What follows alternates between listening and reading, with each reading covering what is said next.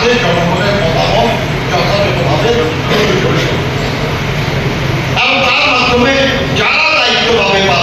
ওনারা কোনো দলের লোক না তাদের কোন দল ক্ষমতা আসতো বা না আসতো তাদের তাদের একটু আসে যায় এই কাজটা করতে হবে। তাদের মনে রাখতে হবে একটা জিনিস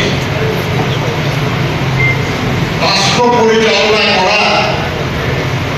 এটা কোনো টেকনিক্যাল কাজ না। এটা একটা রাজনৈতিক কাজ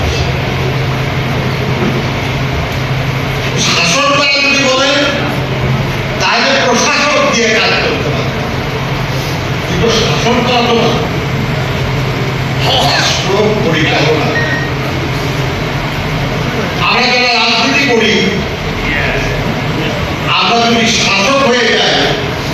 তখনই আমরা জনপ্রিয়তা হারাই তখনই আমরা জনগণের দ্বারা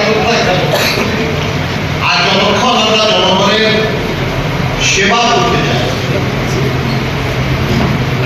করতে চাই রাষ্ট্র পরিচালনা করতে চাই